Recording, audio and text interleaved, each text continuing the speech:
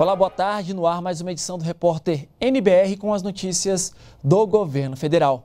Olha, faltam menos de 20 dias para terminar a campanha nacional de vacinação contra a gripe, mas muita gente ainda não foi ao posto de saúde. De acordo com o Ministério da Saúde, menos de 30% do público-alvo se vacinou.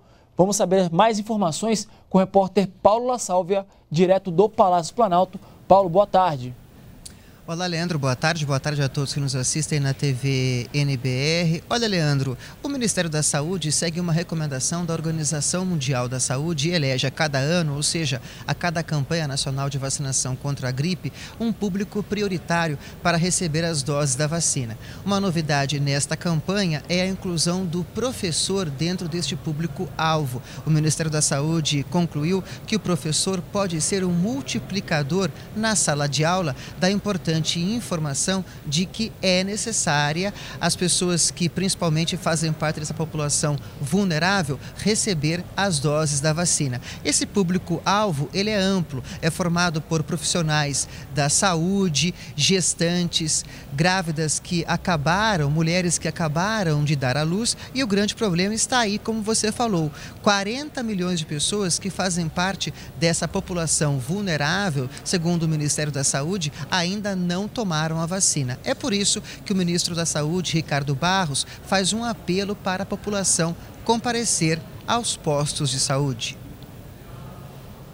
Precisamos agilizar a vacinação, todos devem comparecer, eh, os idosos, 60 anos mais, crianças de 6 meses a 5 anos, todos os grupos de risco, professores, profissionais de saúde devem correr aos postos de saúde e vacinar-se da gripe H1N1.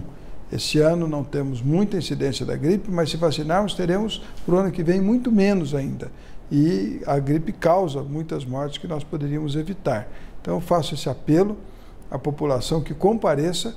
Temos estados já com mais de 50% de vacinação e temos estados com menos de 10%. Então, é preciso que todos participem, que todos se empenhem, em especial um apelo aos senhores prefeitos, secretários de saúde, que façam a disponibilidade da estrutura e a população que busque os postos de vacinação.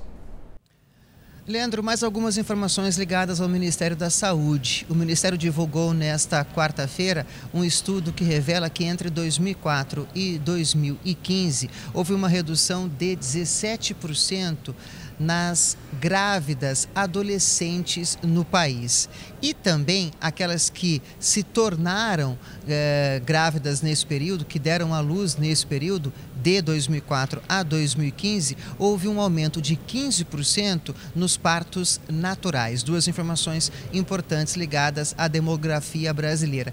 E o ministro da Educação, Mendonça Filho, assinou uma portaria também nesta quarta-feira, permitindo o aleitamento materno em qualquer espaço vinculado ao Ministério da Educação, por exemplo, uma universidade, não se restringindo às salas apropriadas para isso.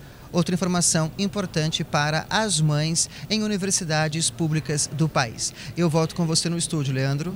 Tá ok, Paulo. Obrigado pelas suas informações aí do Palácio do Planalto.